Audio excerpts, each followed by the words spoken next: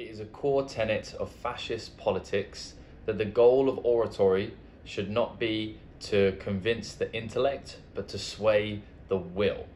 Now, this is my favorite quote of anything that I read in the book that I'm going to be reviewing today. And the book is How Fascism Works, and it's by Jason Stanley. Now, Jason Stanley, I did a small amount of research into him. He's a philosopher. He's, uh, if I'm not mistaken, I believe he's the head of philosophy at Yale University, so definitely knows his stuff. Now, if you're brand new to the channel, uh, welcome. If you've been following along with the different books I've been reading, you'll know that I'm reading 52 this year, and my goal was to make sure that I moved around all different genres of books. So today is definitely a political education book, and uh, I'm excited to jump into it. So uh, let's talk about it. So, unlike a fantasy book, which is uh, you know what I've mainly been reading, um, this book here is is obviously more rooted in the day-to-day world. There's a lot more fact in there less fiction. So the way i'm going to go through the summary is there are chapters in this book. I believe there's somewhere between 8 and 10 and i'm just going to give you the name of each chapter and essentially what that chapter is about and how it makes sense to the overall topic of the book. So normally i would say the spoilers are not spoilers. I mean it's a political book. You live in the world that we live in. Therefore you're already going to know a lot of what we've seen here so I'm going to go through the summary. Um, after that, I'm going to tell you a bit about what I loved and maybe what I didn't like about the book, and then really just give my recommendation at the end.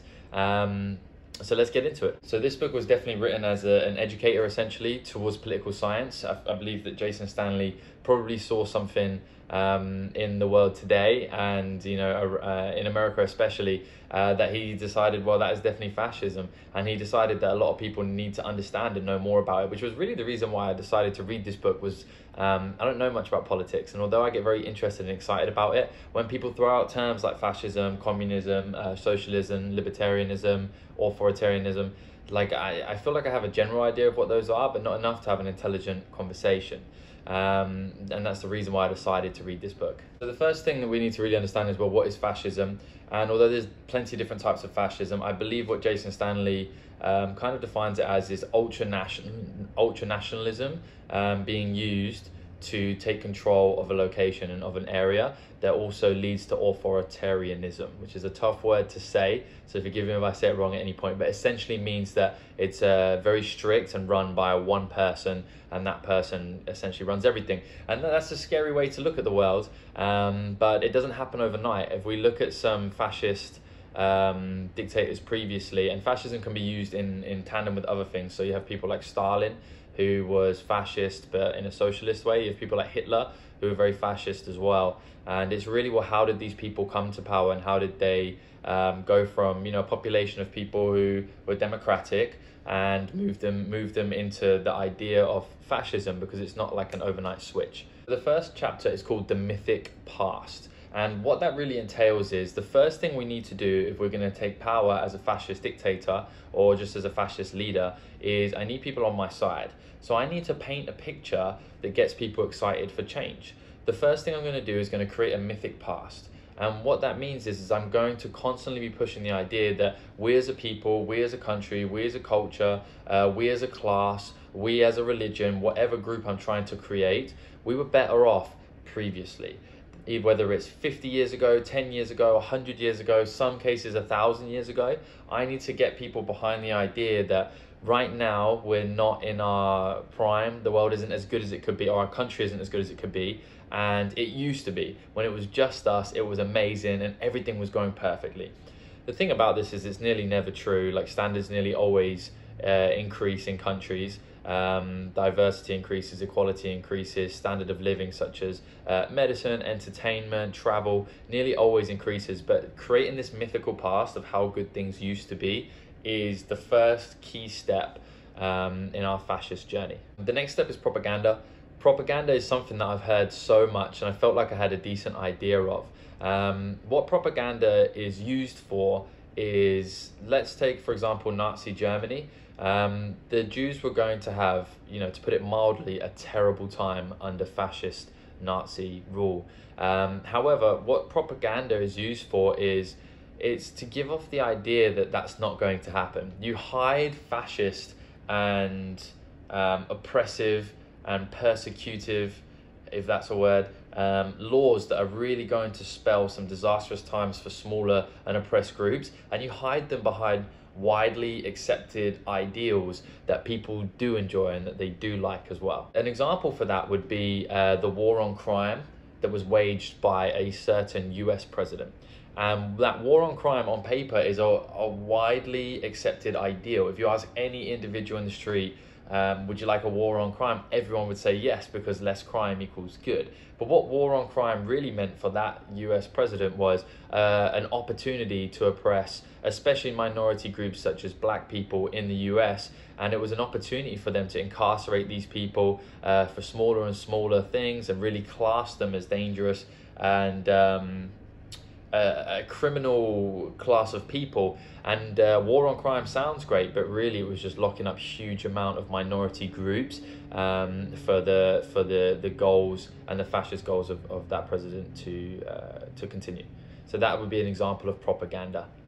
The next chapter that Jason Stanley delves into is anti-intellectual which really means the opposite of um, intelligence what he means here is is that what's something that's really important for a democratic society is public discourse.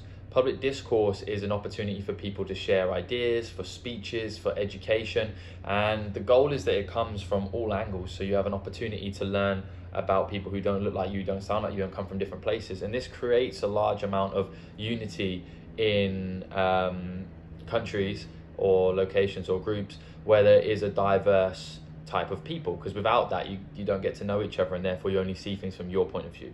Now for fascism you don't want that unity you want to create divides and create groups and that's really important. So what being anti-intellectual is all about is you will see fascist groups uh, attempt to and sometimes successfully uh, go into places such as universities and other locations where there's education and learning and ideas are being shared and uh, groups and unity is being formed. And what they will do is their goal is to disrupt that. Now, depending on where their powers are at that point, some things that they can do is uh, they can go in there and remove any teachings that um, aren't congruent and don't align with what they said the mythical past was. And this was an opportunity for them to really solidify the mythical past. And one book that I actually reviewed before, 1984, which is just here, uh, talks about this a lot. And I believe they say um, whoever controls the past controls the future, and whoever controls the present controls the past. And what it means is if you control the information, if you control the narrative that gets given to people, they're never going to find anything uh, out or anything different. So they'll have to take that as truth.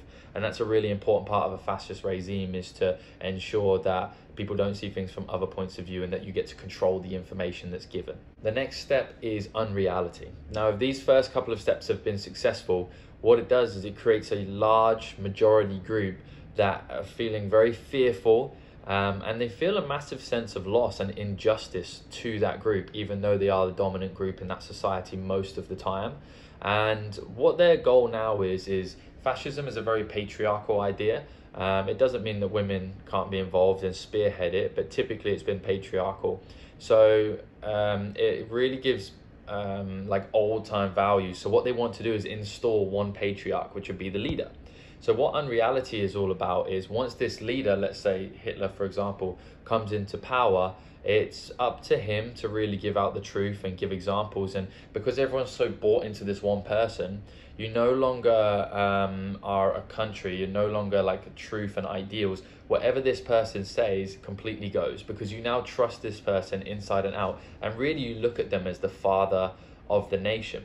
And what unreality really means is that they will say things that directly um, contradict what reality is. But by this point, everyone's so bought in and so angry and scared, and they're looking at this person like their dad, and uh, they'll take that person's word over sometimes what their eyes and ears could tell them if they relaxed enough. Kind of like when we're kids. So anybody who had a strong father figure or mother figure, or anybody who was raising them, now know sometimes maybe when they tell you, you know, Santa Claus is real even though really when you're a kid you do think well you know how could this happen? And you have questions. But because your parents said it okay that must be how it is. I'm not sure if that's the world's greatest example but it was the one that sprung to mind. The next chapter talks about hierarchy. Now it's really important to create these separations of types of people if our fascist government is going to work. So one of the first things uh, we need to do is figure out well, how are we splitting people up? What groups am I trying to get involved? Now, some of the classic ones is race. Uh, race is often used, uh, so the color of people's skin or where they were born. Um, religion is often used as well. It could be class, so how much money people have. Let's say you're trying to set up a fascist but communist society, then really you're just trying to appeal to either just the middle class or the lower class, or maybe even just the upper class, depending on what your goals are. Um, it could also just be um, people who speak a certain language, people who look a certain way, people with a certain type of sexuality. It really depends, but you want to set a clear hierarchy of importance of people essentially. Now, what's important in this hierarchy and the reason we set it is because one group, normally the vast majority and the larger one, which is why he talks about ultra nationalism being important because you will always have a majority in that country of people from that country. Um, your goal is to elevate those people above everybody else. Um, to give off the idea that these people are more important, we are better in every way, shape, or form and uh, everyone around us is maybe not even human. You know, that would be an extreme example, but um, we have seen it before, unfortunately. And uh, what that means is, is it gives these people that you're trying to appeal to a sense of um, just heightened important, and, and it really dehumanizes the people who are unfortunately about to be horrifically uh, repressed, and even sometimes genocide occurs. So it's important this stage that people feel like they're not um, uh, oppressing and uh, committing a genocide on people like them, it's all about division, and that's what the hierarchy is for. The last thing about the hierarchy as well is it's impossible to fact check um, because you no longer have any information uh, based on the anti-intellectual part where you cut out the information. You don't have any more opinions from those people. They don't have a voice. They don't have public speakers. They don't have classes or courses that explains this person's opinion their backstory and why you know uh, they do things a little bit differently. So because you're unable to fact check and you just take the word of the patriarchal leader um, it's a really effective way to create the divisions necessary for the horror that fascism often brings it the next step that professor stanley talks about is victimhood. Now that we have this large group of people um, who stick together, feel really strongly about the patriarchal leader, but also do not like any of these smaller groups that have really been segregated. We want to create the idea of victimhood. What victimhood is, is you create the idea that the large group is being suppressed, um, that they need to be fearful of the smaller groups, and using that idea, any attempts from a smaller group to get equality um, to try and not put themselves above the you know the larger group, but to give themselves a fighting chance, to give themselves an opportunity to stop being suppressed. You essentially market that as them attempting to gain dominance and attack the larger group, and it creates this idea of victim victimhood in the group that has everything that is um, really really privileged. So it's although it's you know for terrible means, it is an interesting and very intelligent way to create an angry mob that will uh, that will follow you. Uh, the next chapter is called Law and Order, and using this bias and this victimhood, what you do is you create very very harsh uh, laws and punishments for the persecuted group. So let's talk about Nazi Germany. And in this example, uh, Jews were being locked up, sent to concentration camps with no knowledge of what date they'd be released. And, you know, as we now know, so many would actually be killed, uh, murdered, and put to forced labor for large periods of their life. And this sometimes was for things such as like traffic violations, um, for uh, jaywalking in the street. And really, what it was for was for being Jewish. And what this does is that's a really extreme example of fascism. But let's say, even if we're talking about the war on crime, which essentially locked up black people for long periods of time for very, very small or sometimes no offenses at all, not only does that create, it has like a domino effect. Not only is that extremely unfair um, just for that individual, but it also wrecks their family. Um, and it was disproportionately black males that it was happening to. And what that means is, is that now those children grow up without a father figure, which often leads to a life of crime, or at the very minimum, it leads to confusion and a lack of role models. Now your role models that are left are all um, you know, much younger, which is sometimes tougher. But it also means that maybe that family is going to struggle financially. Um, it also means that when that person comes out of prison, because prison really doesn't reform, and it's not really the goal isn't really to reform, is probably going to be a bigger criminal when they come out than when they went in. So when that family finally gets a role model back, they might actually have a criminal back. Um, which is unfortunate. I think it's Shawshank Redemption that said, you know, I never committed a crime until I was sentenced for one, something along those lines. So the long term effects are disgusting and detrimental to these groups of people of these types of law and order that these fascist governments put in place. And the final thing that it does, um, which is like a self fulfilling prophecy, is the the larger group of people, um, the oppressors, so to speak, they see huge amounts of these minorities being locked up, being taken away, and because there's this huge trust in the patriarch, it essentially solidifies the fake and false um, propaganda lies about how evil, nasty, criminal, and um, just bad these smaller groups are. And it just creates huge division wedges. And we can even see in today's uh, world in multiple countries, but you know, I live in the US, so let's use the US as an example. There is still massive, massive repercussions from these types of you know law and order campaigns of governments previously to everyday people today and people's opinions of those people as well. So it's very effective at you know the final nail in that wedge essentially between groups. Uh, the next chapter is called sexual anxiety. Now, with sexual anxiety, uh, what this chapter talks about is fascism really creates a patriarchal society. Um, in a patriarchal society, the role of the man is to help out the nation as much as possible and put his blood, sweat, and tears into that, into creating sometimes a war machine.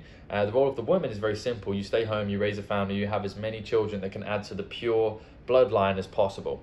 Now, something that creates a lot of sexual anxiety is propaganda, or now uh, say that the oppressed groups um, could corrupt the bloodline and they can do this by rape and they can't control their sexual urges. This is something that is uh, spreads a lot of worry, and this again is a very emotional worry rather than anything logical. Not that anything has been super logical so far, but it's a very emotional worry, very primal worry, and it's a super effective at again breaking bigger differences and more anger, more hatred between people. And again, it's it's just a lie. The next step and the next chapter is called Sodom and Gomorrah, and I actually had to look this up. But Sodom and Gomorrah, I hope I'm pronouncing these right, were uh, locations in the Bible that were destroyed. They were cities, and they were destroyed by God God because they were full of sin, essentially. And uh, what Jason Stanley alludes to here is that um, for fascism to work, a huge contributing factor that we've seen for a lot of history is that um, the countryside is a stronghold for fascism because it's less diverse, they have less opinions already, and they really most likely only have people from that country or from that race or from that location there, meaning that they're more susceptible to these biases and these prejudice. Now, what a fascist leader will do is they'll create large cities, well, the large city's already there, but they will create the idea that these large cities, let's say in America, maybe New York or Los Angeles or Chicago, are the places where things are going wrong. It's where the lazy people are, it's where um, you know people are draining resources and we're losing our culture and we're losing our identity. And the country, the country areas, sorry, like the rural areas will get behind this idea and you'll see huge amounts of people from those areas vote for that party to get into power and it's a really effective way for them to utilize um, democracy to create their fascist reign moving forwards and you know sometimes there is never a vote again when a fascist um, leader gets in so it's important that they play by the rules the first time round so this is a really effective for the way for them to do it uh, i hope i've interpreted that um, name correctly, title of the chapter correctly. And the final chapter is called Arbeit macht frei, which I've probably mispronounced extremely effectively. Um, and it's German, it stands for work will set you free.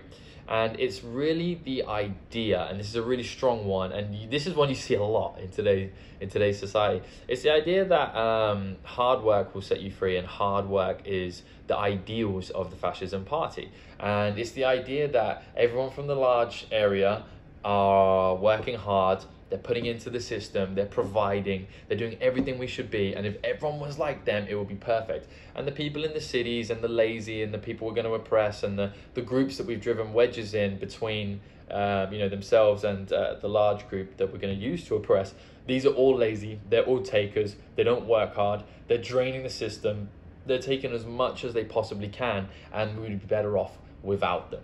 And obviously, um, that is not great, and it creates really strong emotions in people because it's not logical, like the, the, the quote I put at the very start. Um, and this is really the final step before elections, I suppose. So before I move into what I loved, I just want to put a bit of a disclaimer out there. Um, I'm definitely not a political scientist. Uh, I'm not even that smart. So, if you would like to know more about this topic, which I would definitely hope you would if you've watched this video this far, just read the book. It's an incredible book. It makes all the points with a lot more evidence, a lot more examples, a lot more eloquence, and just effectiveness. And it's really, really fun to read as well. So please, please, please, if you've watched this video so far, just go and read the book because it will give you a much better understanding. And there is the very large I'd say medium chance that I've massively misinterpreted something, even giving you these small examples. So go and read the book. What did I love? So the first thing was um, I loved how educated I felt after reading this book.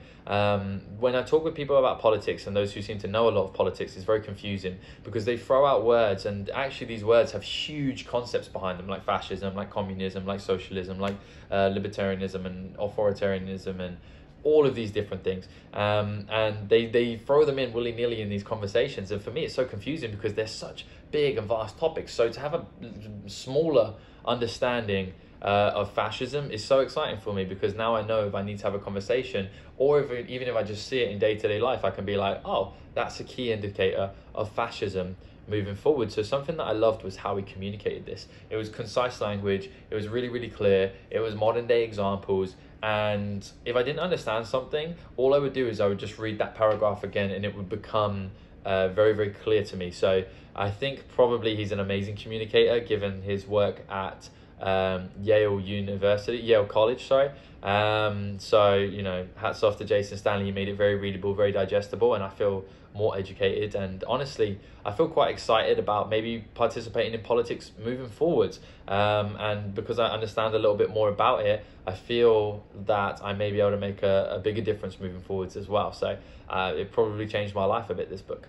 Um, something that I didn't like was there was a small amount because, like I said, it's it's not so much subjective it's more objective these types of books like it is what it is. The only thing that i didn't like that much was a, a huge amount of the um, examples were donald trump. And it's not that i don't agree that you know everything he said in there was true. It doesn't necessarily mean donald trump is a massive fascist but he used him for quite a few examples. Um, but what i would say is that personally i think that you can see this type of politics um, not just across the globe but even in both parties in america. I think the reason why both parties would use something like this, not exactly like this at all, I'm not saying both are fascist, but um, why you can see uh, hints and uh, reflections and glimpses of these types of politics is because it's really important to get people excited to vote for you. And the sad thing is, um, in a perfect world, we wouldn't need um, you know oppressors and the oppressed um, to create large majorities that will vote for us.